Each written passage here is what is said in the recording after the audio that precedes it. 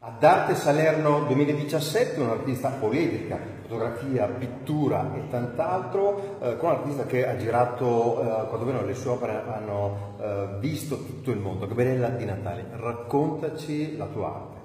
Beh, io dipingo su tela con acrilico, eh, da sempre, dipingo diciamo, da quando ero piccola, 4 anni.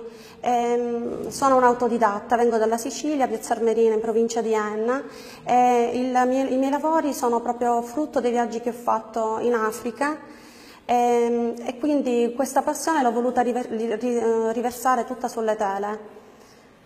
E mi raccontavi che la tela che il nostro pubblico eh, sta vedendo fa parte di un ciclo storico, sì, giusto? fa parte di una raccolta che si chiama proprio Visi e Risi, che ha viaggiato proprio in tutto il mondo, New York, Dubai, Roma e poi sono approdata qua grazie ad Arte Salerno.